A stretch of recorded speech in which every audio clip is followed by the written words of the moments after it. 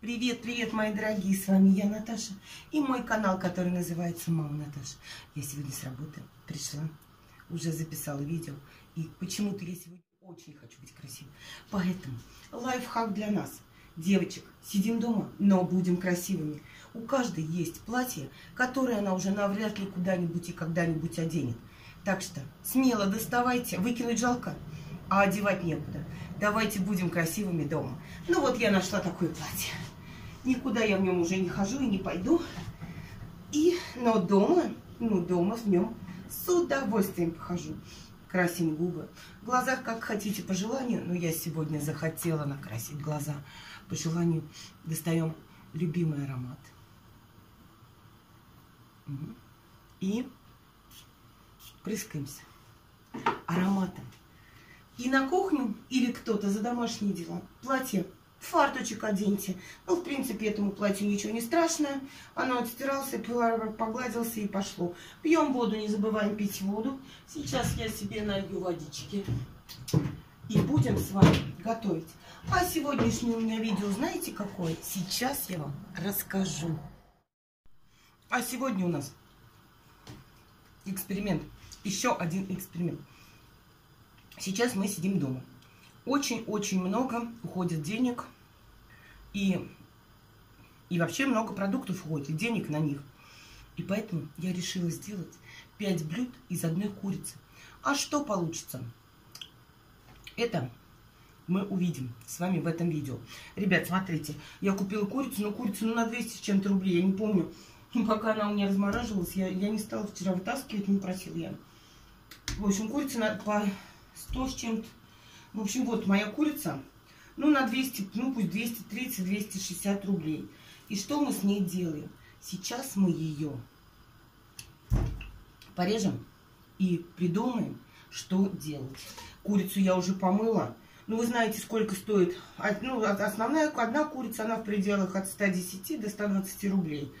у меня все стерлось, а чек... Вот, думала, блин, я вам все скажу, скажу, скажу. А все у меня стерлось. И чек тоже. Потому что она у меня лежала в морозилке. В общем, разделываю. Как я делаю курицу, ну, каждый делает по-своему. И каждый делает, что я думаю, это экономно. Я ее уже помыла. Мои ножи в помощь всегда. разделываем.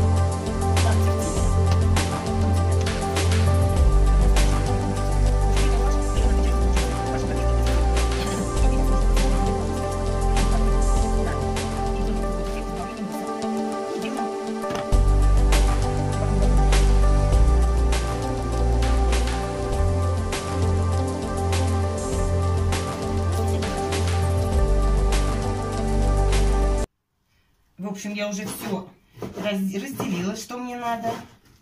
И быстренько делаю вид фарша.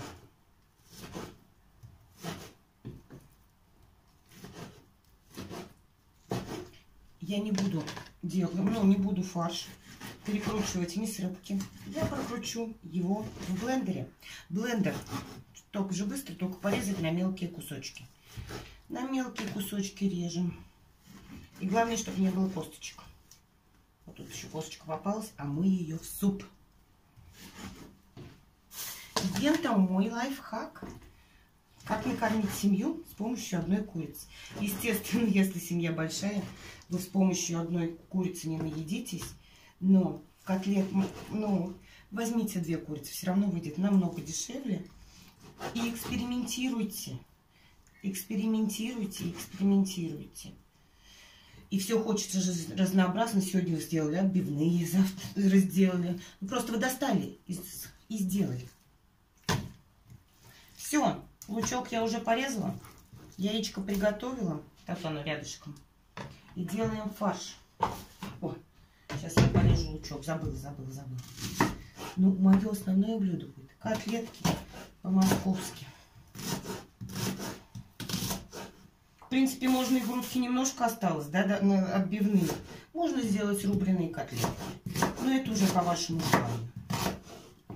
А хотя, когда ее отобьешь, ее становится много. М -м -м. Да когда ее в сухариках. Все, в общем, все кидаем. Что у нас в итоге появилось? Получилась грудка, из которой я сделала отбивные. Суповой набор, при том, что хороший, с мясом. Не буду я делить на две части. В общем, ну, если на маленькую кастрюлю, кто желает, можно разделить на две части. Крылышки и ляжки для жарки. Оно, видите, размораживалось. Фарш на котлеты по-московски и фарш на фрикадельки. Во фрикадельки я добавлю рис, а котлеты по-московски мы будем делать вместе с вами. Ну, что получится, мы увидим. Оп. И вот что у нас получилось. А у нас получились отбивные. А у нас получились тефтельки. Курочку замариновала с соусом терияки. Посыпала ее соль, солькой, перчиком. И еще получился фарш на котлеты. Вот.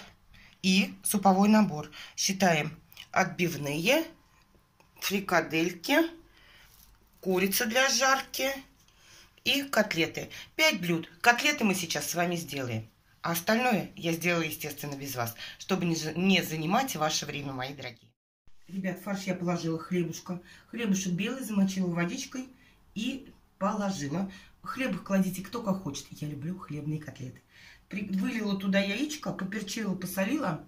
И сейчас я опять блендером, чтобы хлебушек у нас смешался с фаршем. И вернусь. В общем, у меня все готово. Осталось сбить яичко. Я приготовила яичко. И начинаем формировать котлетки. А вообще смысл в том, что обычные котлеты вы формируете как хотите. Любое, любой фарш, любое, ну, по, по вашему желанию, любые специи. Но вы сначала формируете котлетку обваливаете ее в муке, чтобы она у нас получилась. Потом обваливаете ее в яйце. И уже потом обваливаете в сухарях. А сухари не простые. Сухари чуть-чуть подсушенный хлеб. Мелко, вот порезанный на маленькие-маленькие брусочки. И у нас получается вот такая котлета. Ну, можно жарить. Так что я продолжаю, чтобы вас не задерживать. И покажу уже все в готовом варианте. Вот жарятся мои котлетки по-московски. Смотрите, как не хуже, чем в любом Макдональдсе или KFC куриные, красивые. Ох, какие крас красивущие. И еще. Еще у меня осталась одна котлетка. Ребят, закончились яйца, но я же разбивать не стала. И у меня получилось не 5, а 6 блюд из курицы. 6 блюд. Еще у меня получились биточки. Я просто их обваляла в сухарях и все. Биточки можно потушить в молочном соусе. Так что всех люблю, целую. С вами была мама Наташа. Приглашаю я вас на мукбанг с котлетой по-московски. А также сейчас я буду делать как мар... Как она называется-то? Окрошку. Ну, окрошку, я думаю, что я сделаю в тишине без камер, потому что все знают, как ее делать. Но обязательно вас приглашу на мукбанг, как правильно подавать окрошку. Все, всех люблю, целую, заходите в гости. Подписывайтесь на мой канал, ставьте лайки. Ребят, прошу прощения, сразу не отвечаю. Я уже говорила это в своем видео. Но отвечу всем. Все-все-все, пока-пока. Чмоки-чмоки.